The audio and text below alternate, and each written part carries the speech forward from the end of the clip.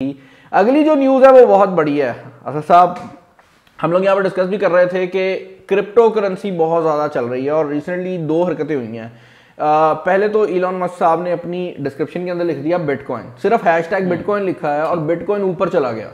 उस बंदे का इतना पुल है उस बंदे की इतना इन्फ्लुएंस है इलॉन मस्क का कि उसने सिर्फ़ बिटकॉइन का लफज लिखा उसने कुछ नहीं लिखा कि मैं कोई खरीद रहा हूँ या बिटकॉइन अच्छा है या बिटकॉइन बुरा है। उसने सिर्फ़ बिटकॉइन को मैंशन किया और बिटकॉइन ऊपर चला गया। उसके बाद डिफरेंट जो क्रिप्टो करेंसीज थी उनके लोगों ने कहना शुरू कर दिया कि भाई हमारे पास ये क्रिप्टो करेंसी है हमारे पास ये क्रिप्टो करेंसी है। प्लीज़ इसका भी नाम लिख दे। तो आज उसने जो डॉग कॉइन है आ, उसका लिखा है और अब डॉग कॉइन की भी जो प्राइस है वो ऊपर जा रही है। और दिनों के अंदर double triple even ten times prices हुई हैं सिर्फ़ एक ट्वीट के चक्कर में। आप सोचो एक बंदे के पास इतनी पावर है कि वो सिर्फ़ एक चीज़ का नाम लिखता है और उसकी प्राइस ऊपर जा रही है तो यस और उस बंदे ने टाइम एंड टाइम प्रूव भी किया है कि वो ये डिजर्व करता है, क्योंकि he is a very visionary type of a person और रिसेंटली वो ट्विटर से गया हुआ था, वापस आया है, उसने एक अपनी स्पेस एक्स की लगाई है कि भाई हमारा चाँद तक पहुँच गया स्पेस एक्स वाला शटल जो है, और दूसरा उसने ये ट्वीट किया डॉग वाली तो ये गेम है। असल भाई, आप भी क्रिप्टो में इन्वेस्ट क्यों नहीं करते?